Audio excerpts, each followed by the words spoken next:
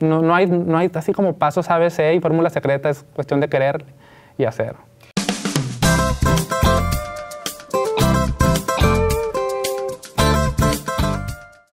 Hola a todos y bienvenidos al Club de Impacto. ¿Alguna vez han sentido que su vida es muy pesada? El invitado de hoy está dedicando su vida a compartir herramientas que ayudan a disminuir o eliminar las cosas, materiales y no materiales, que no nos dejan disfrutar de nuestra vida a través de la filosofía del minimalismo. Hace unos años él conoció el minimalismo cuando leyó un libro que cambió por completo su vida. Investigó sobre el tema y tomó la decisión de llevar este estilo de vida. Pero había un pequeño problema. Trabajaba en una agencia publicitaria redactando anuncios que fomentaban que la gente consumiera productos que muchas veces no necesitaban, por lo que sentía una enorme incongruencia. Así que decidió renunciar y dedicarse por completo a vivir y compartir la vida minimalista. Hoy es creador de un proyecto llamado La Vida Minimal, cómo vivir ligero en un mundo pesado, que se traduce a un blog, un libro, dibujos e ilustraciones en redes sociales, una app, un podcast en el que además comparte música de su autoría, talleres y conferencias. Él es un hombre sumamente creativo y que tiene la misión de inspirar a personas a vivir de manera más simple y significativa. Él es Pedro Campos. Estamos muy contentos de que estés aquí. Bienvenido al Club de Impacto. Hola, gracias. Qué bonita introducción. Ay, pues es tu vida, Pedro. Creo que algo que, me encantaría empezar esta conversación es que nos digas cuáles son estos mitos del minimalismo, porque me parece que está muy, muy mal entendido de qué es el minimalismo y qué no es. ¿Cuáles son las principales cosas que escuchas o que te dicen que dices, no, eso no es minimalismo? ¿Y qué sí es? Yo pienso que la, la tendencia es pensar que es un estilo de vida muy extremo que se trata de no tener nada y irte a vivir a la montaña y tener tu casa con... Como monje. Con un pantalón y dos cucharas, ¿no? O una cuchara y un tenedor y un plato. Y eso puede ser el minimalismo, si es lo que tú quieres, pero hablando de lo que sí es, yo creo que se trata de cuestionar qué es lo que realmente nos aporta valor en nuestra vida, qué es lo que realmente necesitamos, qué es lo que realmente estamos buscando, dónde estamos buscando la felicidad. Y a partir de esos cuestionamientos, como decir, ah, ok, esto no lo necesito, esto no me aporta nada de valor y lo estoy comprando, lo estoy guardando porque es lo que me han dicho toda la vida que tengo que hacer. Y a partir de ahí yo digo, ah, ok, tal vez solamente necesito esto y estoy feliz con esto y empiezo a simplificar mi vida, a aligerarla y encuentro, bueno, en mi caso y en la mayoría de las personas que han entrado, se han entrado a este estilo de vida, pues encontramos paz, calma y mucha felicidad. Claro, porque a veces pensamos o tenemos esta idea de que el minimalismo es escasez o que a lo mejor es ser, resignarnos ¿no? a ciertas cosas. Pero me encanta, escuché una entrevista que, que te hicieron donde dijiste, es que saben que el minimalismo a veces lo vemos como un extremo, pero realmente eh, nosotros vivimos en el extremo del consumismo, ¿no? Eh, el minimalismo es el equilibrio. ¿Estamos en lo correcto? Claro, sí, sí, sí. De hecho, también un, un autor una vez puso que es que yo no, quiero sacrificar cosas, ¿no? Dice, yo no quiero ser minimalista porque no quiero sacrificar cosas.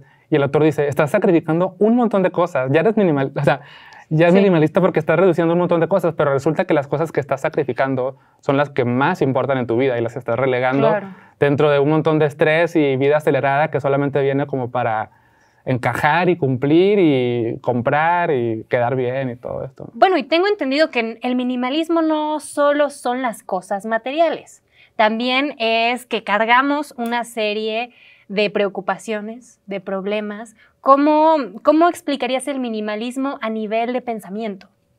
Creo que, o sea, tener una mente como tan saturada y tan llena de, ah, de ruido es un poco una consecuencia también de estar viviendo como en automático, de, de seguir una vida sin cuestionarla, como una vida súper acelerada. Entonces eso impacta en cómo está nuestra mente. ¿no? También el consumo de información es súper excesivo, estamos bombardeados de... Ahora entras a ver, quieres ver una película una serie y hay un montón de ofertas y ya no sabes ni qué ver. Entonces como que el mundo externo sí tiene una influencia en eso, ¿no? Y hablando en particular de cómo tener una mente minimalista, ¿no? Yo siempre digo que como que en realidad no es que no tengas pensamientos, sino que aprendes a discernir entre cuáles te sirven y cuáles no, en cuáles pensamientos decides enfocarte y cuáles tal vez puedes medio dejar ir o dejar que estén ahí, pero sin hacerles tanto caso. que ahí es donde empieza una conexión con, con, otra corriente o con otra, otro estilo de vida que es el mindfulness también, que están como muy, muy, conectados. Que tú también das cursos o, estás bastante metido en el mindfulness, ¿no? Sí, porque justo cuando empecé como a, a, entrarme en el mundo del minimalismo, me daba cuenta que mis referentes, autores también meditaban y dije, ah, bueno, voy a ver qué se siente meditar. Empecé a hacerlo, obviamente al principio pensaba que no lo estaba haciendo bien, después aprendí a hacerlo y aprendí también a enseñar a otras personas a meditar y en eso ando también. Y, me gusta muchísimo. O sea, de hecho creo que mi transformación realmente ha sucedido más a través de la meditación y de mindfulness mm. que en sí del minimalismo. Qué interesante. Oye, Pedro, y siguiendo un poco con tu experiencia, me da mucha curiosidad saber qué te dice la gente, cuál es la primera impresión que, que tienen cuando les dices, vivo una vida minimalista. ¿Qué, ¿Cuáles son los comentarios que te llegan? Mm, creo que hay de todo.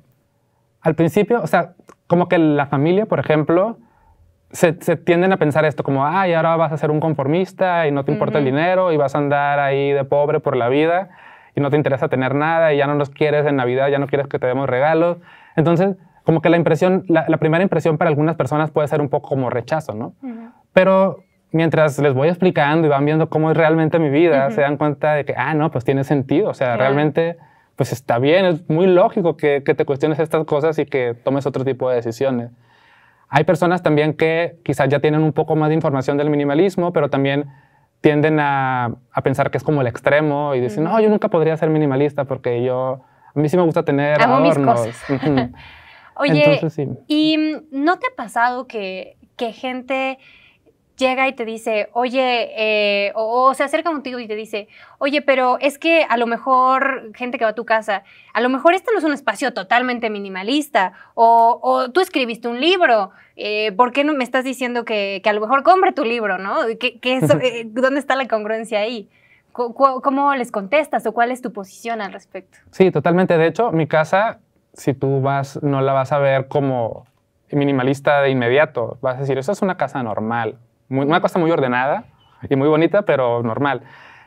Pero creo que una vez que empiezas a entrarte en lugares más específicos, ¿no? como los cajones, el librero, vas a darte cuenta que todas las cosas que están ahí pues, tienen una razón de ser, no están ahí solo por, porque las fui acumulando porque las compré porque se veían bonitas, ¿no? porque sino tienen una verdadera razón de estar ahí.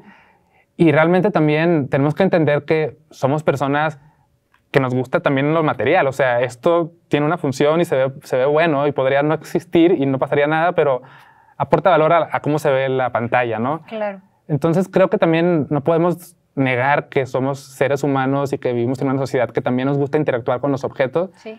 El chiste creo que es qué valor le estamos dando a los objetos realmente y, y qué tanto espacio nos están quitando, tanto físico como mental. Y creo que va a ser muy interesante que nos platiques en el siguiente bloque cómo desprendernos de las cosas que tenemos, cómo aprender a dejar ir y soltar. Bueno, a lo mejor no solo las cosas, sino los pensamientos también.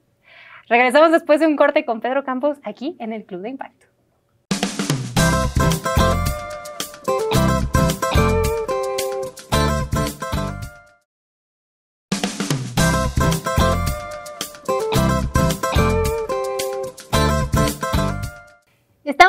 En el Club de Impacto. Yo soy Andrea Palacio y estamos platicando con Pedro Campos. Pedro, antes del corte, estábamos a punto de entrar en esta parte de cómo aprender a soltar, a dejar ir.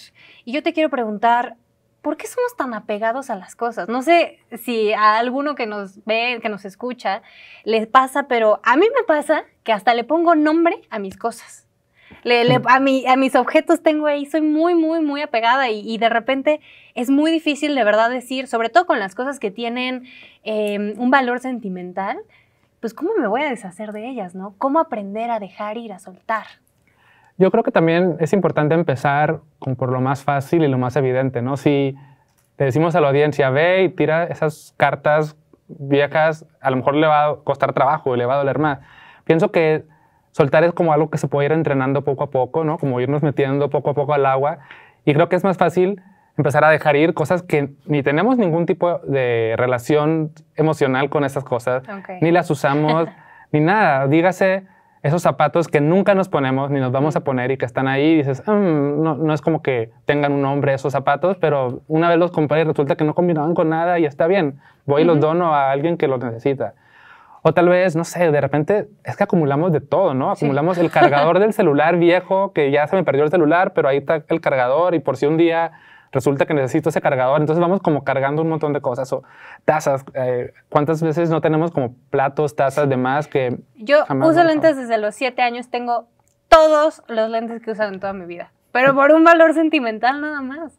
Y, y- y también es curioso porque tú dices que hay veces que, que, que acumulamos estas cosas, pero porque tiene algo escondido abajo de eso, ¿no?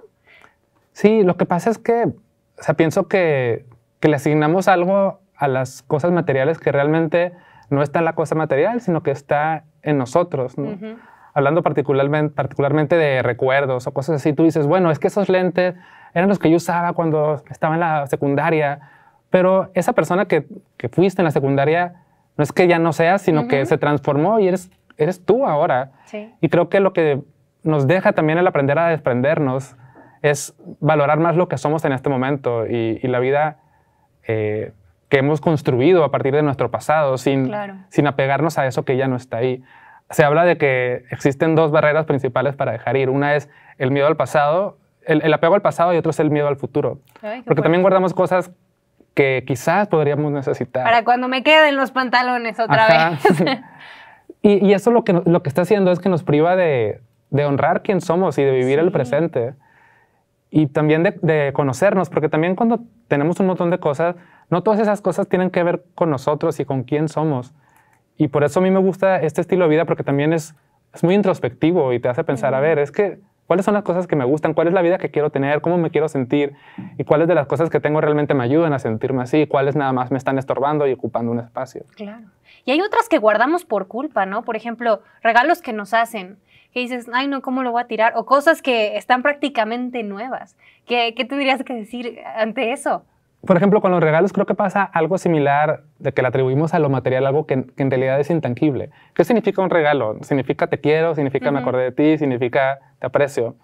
Ese amor y esa relación que existe entre las dos personas que se dan el regalo es intangible y está ahí. El objeto no es el amor, el objeto no es el cariño. Entonces, ¿por qué tener algo que representa un cariño cuando el cariño Cierto. es intangible? Cierto, cierto. Y bueno, a ver, ya, estoy haciendo un- una depuración de, de mis cosas. También tendría que ser una depuración de mis pensamientos, ¿no? Sí, pero como te digo, la mente, eh, como que su función es generar pensamientos, como Mm. que Ok. el cerebro, su trabajo es eh, eh, presentarte posibilidades, cosas que podrían pasar, podría, puede presentarte cosas que te pasaron como para que no las repitas. Entonces, en la mente siempre va a estar generando pensamientos, ¿no? También, ah, que habrá pensado de mí tal persona y estamos preocupados por eso, pero está bien porque de alguna manera nos sirven a veces esos pensamientos. Entonces no podemos frenar y no podemos decir, a partir de ahora no voy a pensar en esto. Lo que sí podemos hacer es prestar atención a qué tipo de pensamientos están llegando a mi mente, cuáles decido seguir y cuáles puedo simplemente dejar pasar o dejar que estén ahí sin, sin hacerles tanto caso. Y es ahí cuando pasa. Obviamente también podemos hacer cosas para que nuestra mente no se sobresature, ¿no? Sí. Consumo de información, qué tipo de pláticas estamos Sí. teniendo, qué tipo de relaciones tenemos, en qué ambiente laboral estamos, porque obviamente eh, si estamos en ambientes nocivos, pues se nos va a contaminar y se nos va a llenar más la mente de cosas. Claro, y ahorita que dijiste la parte digital, ¿cuántas veces no guardamos millones de fotos en el celular? Que las conversaciones de WhatsApp las, las mandamos a la nube, ¿no? También a veces estamos apegados a, ciertas cosas de ahorita también del mundo digital, como dices.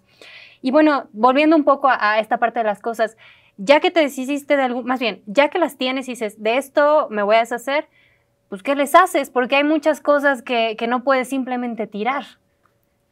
Ese es un tema y es algo que me, me cuesta trabajo porque la, la- la vía más fácil, me podría quedar muy cómodo diciéndote, es que lo puedes ir a donar y a alguien le va a servir, pero hay un montón de cosas que nadie necesita realmente. O sea, Sí. se la vas a ir a donar a alguien necesitado, pero ¿de ¿qué, ¿qué voy a hacer con esto? Sí.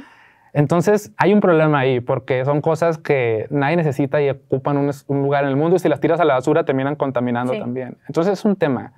Yo creo que es un poco darnos cuenta que tal vez no tenemos que deshacernos de todo tan rápido hasta encontrar un, un momento en el cual realmente vaya, encontremos a la persona a la que le puede servir. Ok. Pero también es como, pues, asumir que ya está ahí el objeto y hacernos Ujú. responsables de dejar de co- seguir comprando cosas. Totalmente. Ya, ya, me, ya me deshice de algunas cosas, ya lo logré. Ahora, ¿cómo eh, evito volver a acumular? ¿Cómo le hacemos? Mm, Es que, mira, en- como que mi planteamiento siempre de este estilo de vida, antes de ir a tira cosas y deja de comprar, es investiga en tu interior qué es lo que qué es lo que quieres, qué significa para ti la felicidad, qué significa estar bien. Y te vas a dar cuenta, la mayoría de las personas nos vamos a dar cuenta que lo que queremos es estar conectados con otras personas, queremos hacer un trabajo que tenga un impacto positivo, que ayude a otras personas, etc. Entonces, nos vamos a dar cuenta que para lograr eso no necesitamos seguir comprando cosas, pero primero tenemos que identificar que eso es lo valioso. Totalmente. sí. Y una vez que tenemos claridad en eso, podemos empezar a, cuestionar cada cosa que compramos y decir, "Mm, a ver, comprar esta blusa o esta camisa realmente me va a ayudar a sentirme mejor, realmente me va a hacer feliz, realmente la necesito. Y empezamos a hacernos más conscientes y, y dejamos de estar comprando en automático. Entonces, primero hay que tener nuestros valores como bien definidos y después empezar a filtrar las cosas que, que compramos y que dejamos entrar en nuestra vida. Claro, por supuesto.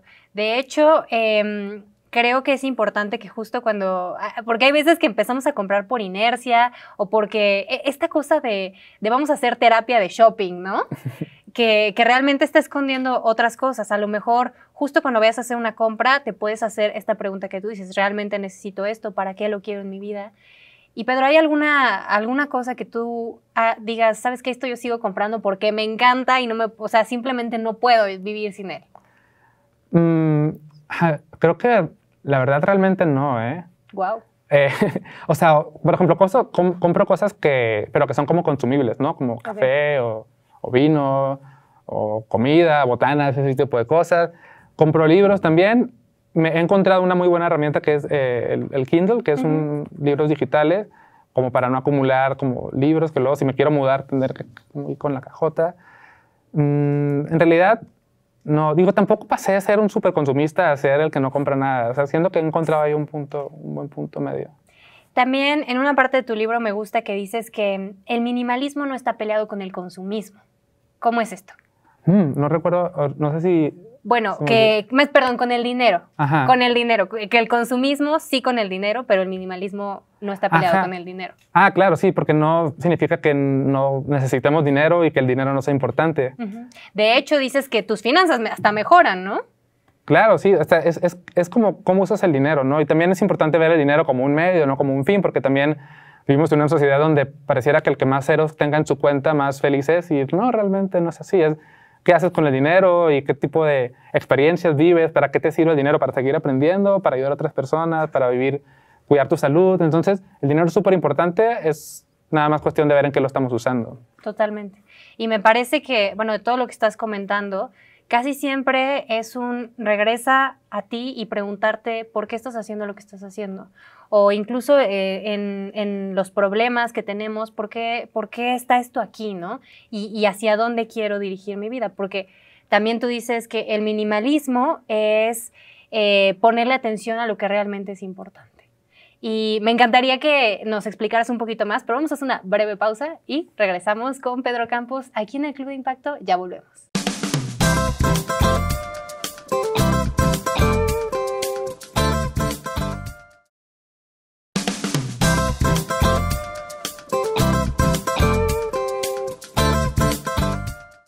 Estamos de vuelta en el Club de Impacto platicando con Pedro Campos. Él vive una vida minimalista y nos ha estado platicando cómo es esto, cuáles son los mitos que, escuchamos al respecto, cómo dejar ir, cómo fijarse en lo importante. Dices que el minimalismo es el espacio, eh, hace espacio para lo que realmente es importante. ¿Y qué es eso que realmente es importante, Pedro? Mm, Me gustaría contarlo con algo que descubrí recientemente. Descubrí a un autor que se llama Tim Kasser, que es un investigador que se ha dedicado a investigar la, la relación entre eh, los valores materialistas, los valores extrínsecos y los valores intrínsecos. Entonces, él ha encontrado en sus investigaciones que hay ciertas metas que son extrínsecas, que son las que nos venden normalmente como la publicidad y la mercadotecnia, que tienen que ver con algo externo, ¿no? O sea, él la apariencia, el tener una casa lujosa, la ropa que usas, etc. Y hay otras metas que son intrínsecas, que son, tienen que ver más con el crecimiento personal, con mi relación con las personas, con mi salud, con mi cuidado emocional, etc. Entonces, en esas investigaciones se ha dado cuenta que las personas que persiguen, o más bien, las personas que priorizan sus metas extrínsecas, tienden a experimentar menos felicidad, menos bienestar, incluso tienden a caer en temas más de adicciones, depresión, etc. Y las personas que priorizan sus valores intrínsecos, pues se sienten mejor y, son más plenas y tienen una mejor relación con, con, su entorno. Entonces, creo que lo importante es realmente lo intrínseco, ¿no? Totalmente, sí. Es cómo nos sentimos, cómo convivimos con nuestras personas, cómo trabajamos en, en nuestro bienestar, cómo impactamos, cómo cuidamos nuestro medio ambiente también y creo que hay que prestar más atención a eso porque, digo, además de que, creo que es un poco obvio, también ya medio está demostrado científicamente que el otro tipo de metas no te van a llevar a, a una satisfacción real. Y hablando de metas, hubo una sección de tu libro que resonó muchísimo conmigo porque creo que a veces justo nos llega toda esta información de cumple tus metas, cumple tus metas, metas, metas, y, avanza y no pares y, ejecuta. Pero tú hablas de también depurar nuestras metas, de tener claras cuáles son realmente eh, importantes para nosotros y, cuáles las estamos haciendo como por algo externo, como tú dices. Me fascinó esta parte que tú dijiste. ¿Puedes platicarnos un poquito más? Sí, es que creo que y creo que tal vez tiene que ver con el tema de, redes sociales y la exposición que tenemos a tanto, que pareciera que todo mundo está como logrando un montón de cosas y como que no nos queremos quedar atrás, ¿no? Un poco. Entonces como que siempre hay algo más que lograr y me parece que es importante encontrar un balance, no podemos quedarnos como estáticos y con esta sensación de que no estamos cambiando, que no estamos aprendiendo, que no estamos mejorando, pero me parece que sí podemos empezar a saturarnos también de, de cosas que queremos lograr y, y nunca disfrutar lo que ya tenemos, lo que sí tenemos en este momento. Porque a veces queremos que correr el maratón, pero escribir un libro, pero viajar por el mundo y graduarme de tres diplomados. Creo que también, como tú dices, hay que regresar al presente, porque el presente es en donde realmente está lo importante. Y, y, fijarnos qué, qué, son esas metas que, que según esto estamos haciendo por nosotros, pero que a lo mejor puede ser por los demás, ¿no?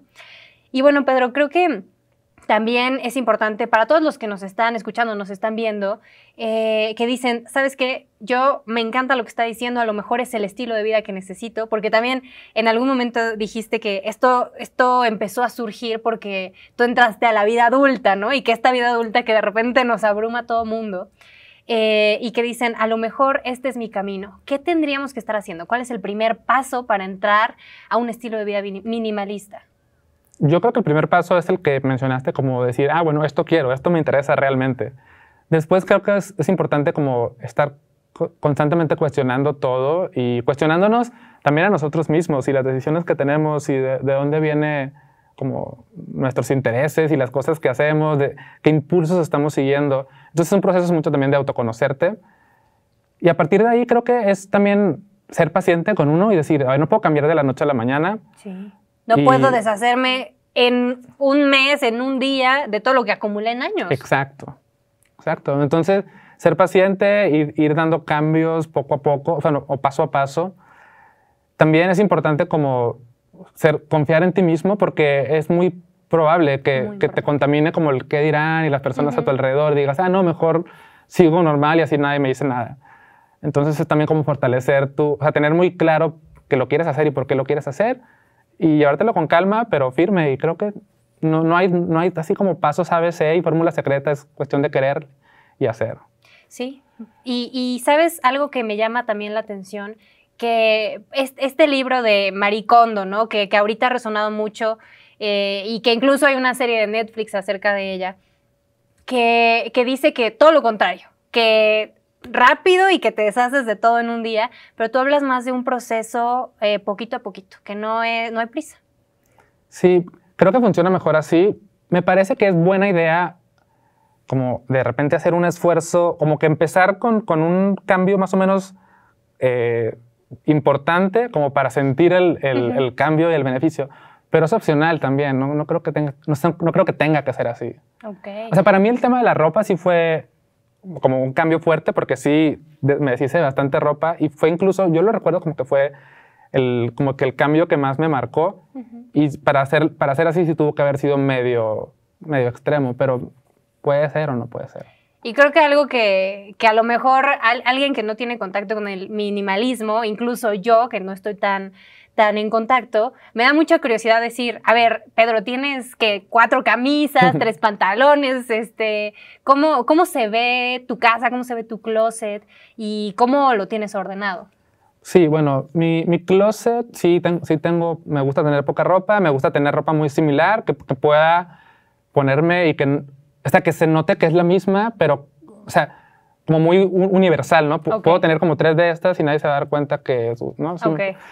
Entonces, bueno, así siendo más puntual, no- suelo tener como tres o cuatro pantalones y este, trato de darles el me- me- mejor uso que pueda, eh, cuidarlos para que no se desgasten tanto. Tengo quizás a lo mejor unas 10 como entre camisas y camisetas en total y unos pocos eh, suéteres y ya.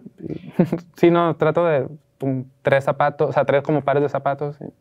Porque creo que al final esto también te lleva a otra cosa como el cuidado con el planeta. Creo que el autoconocimiento, el mindfulness, creo que a lo mejor es como una respuesta a esta como frustración que empezamos a sentir cuando nos incorporamos al mundo laboral.